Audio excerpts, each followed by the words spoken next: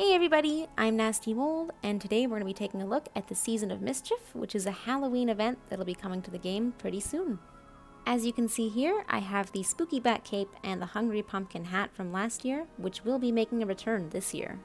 It looks like the event will take place in the office again, and there will be a new Mischief Catch-Up Pack, which is going to be a bundle with both the hat and the cape this time. You can also buy them individually, like you could before, but there's a bundle if you want both. There's also going to be a new cosmetic coming, and we'll take a little look at that. At the moment, I have no idea what the prices are going to be. They're not in the beta, they're not anywhere, so we'll just have to see if anything has changed. So we'll take a little look at what the inside of the office was like last year, and then we'll take a look at their new planned cosmetics coming, which look amazing.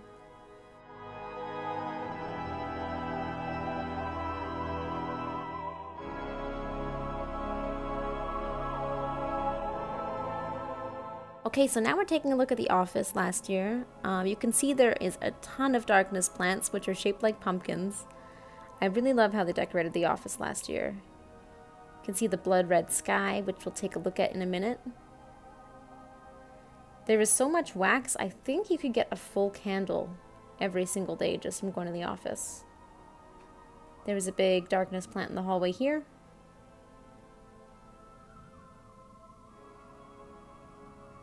And I think at that point I was just checking how much the cape was and if it was in the shop.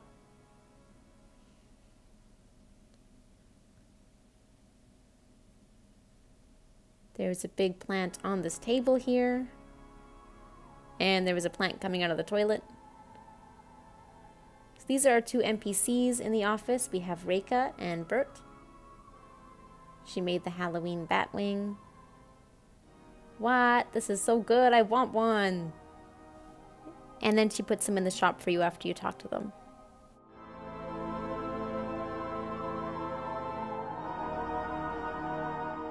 So I believe the Spooky Bat Cape was $15 USD and the Hungry Pumpkin Hat was $10 USD. I might be wrong on those prices. I can't quite remember. But I don't know how much the bundle will be. I'm pretty curious about that.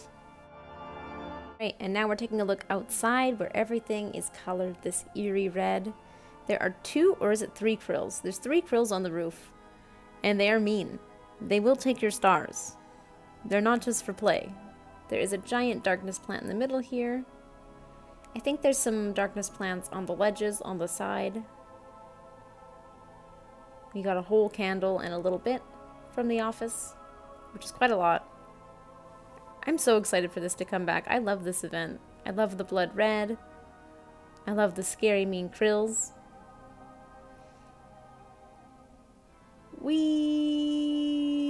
You can guess what's gonna happen. Right, so now we're going to take a look at the new cosmetics coming to Sky, potentially. They may be subject to change. Here we have the spiderweb cape. Now this is just concept art and it is definitely probably going to change somewhat in game, but look at how cute it is.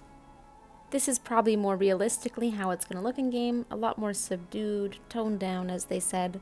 They didn't want it too bright and vibrant for the game. I absolutely love the crooked witch hat, it is so cute. I'm so excited to wear that. I love the little shaggy hair that comes with it too. And finally, there's a little glimpse at the interior of the cape, which looks to be an acid green, which I love. I'm so excited. I hope it comes out similar to this. There is no news on whether or not it'll be bundled with the hat. I sure hope it is, though.